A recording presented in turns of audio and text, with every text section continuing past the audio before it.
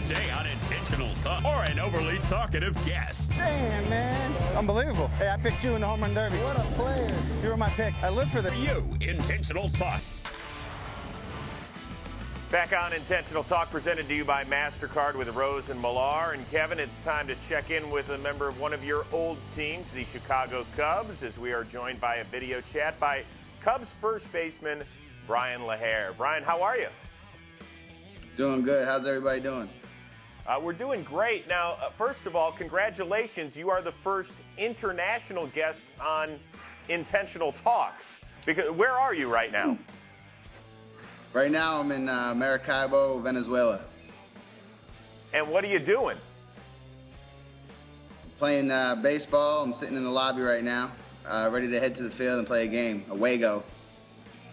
Nice, brother. Now, listen, Big Z, Carlos Zambrano's down there, and I heard now you uh, hit a show homer off Carlos there in the winter ball. Tell us about taking Big Z deep.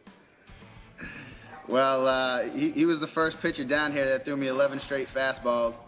And, uh, you know, I uh, his, my first at bat, he got me, and then uh, I got three and one again. He threw another one, and uh, I ran into it, so I got him. Nice. All right, so as you're circling the bases, is he yelling at you, or what did he say to you? well, well, usually at uh, home plate, the first thing he did was look at me when I took off, make sure I didn't pimp it. Um, but then uh, usually when I get to home plate, we have a little bat boy that's about up to my knees, so I go low and uh, give him high five, and he wanted to do it. And I said, no, nah, that's all right. I got to face him again. So I go ahead and uh, stood up and gave him high five up top. well, maybe he threw yeah. you a little bit of a cookie because it was your uh, it was your birthday recently. You celebrated it down in Venezuela. We actually have a picture of the birthday cake. Uh, I got to tell you, this is pretty pro, isn't it? yeah. this team, this team's doing a great job, man. Uh, you know, uh, originally uh, I was I was gonna stop playing on the 14th, and uh, they, they got really they got a lot of good team chemistry down here, and uh, I was excited to come back. They this this team's pretty good. Now now let me ask you a question. You played a little basketball, and your coach was J.P. Ricciardi back in Massachusetts. Now I want to know was he a tough basketball coach, and how was J.P. coaching basketball? I think he stopped growing, you know, in eighth grade.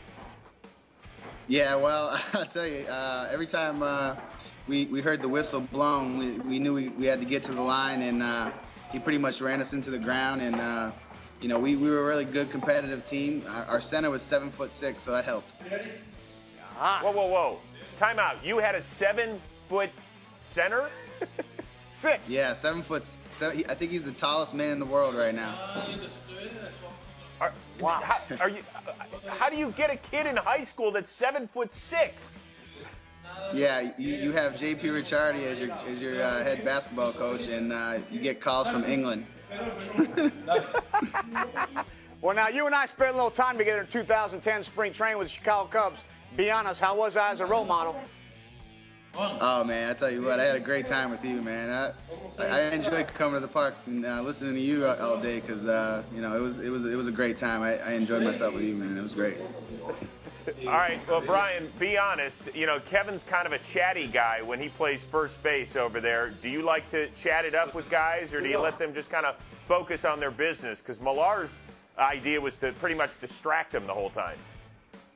Yeah, I, I, I like to do that. You know, I, I have a tendency to talk to the guys, and uh, you know, hopefully maybe we can get them picked off or something like that. And sometimes they uh, they stop paying attention. Uh, but yeah, I like to have fun over there when I can. All right, well, Bryan, thank you very much for taking some time during the off season. Happy holidays to you and your family. Continued success, and hopefully we'll catch up with you during spring training. Okay? Hey, sounds great. Thanks for having me, guys. Go deep.